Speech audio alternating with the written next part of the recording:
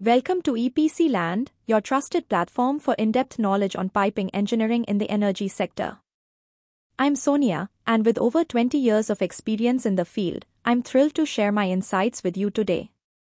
A special thanks to EPC Land for giving me this opportunity.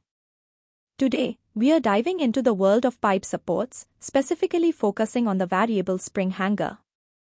This component plays a crucial role in supporting pipelines that experience vertical thermal movements.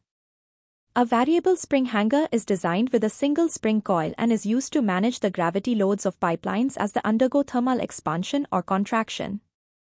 This means that as the temperature changes, the pipeline will either expand or contract, and the spring hanger adjusts accordingly to accommodate these movements.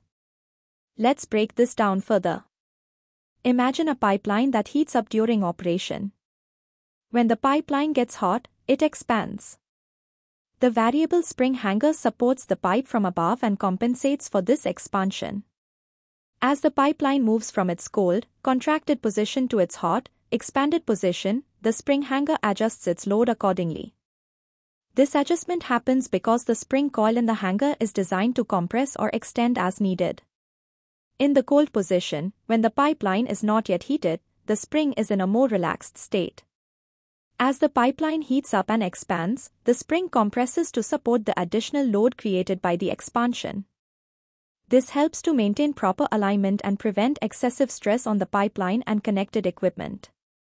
Variable spring hangers are essential for systems where pipelines experience significant temperature fluctuations.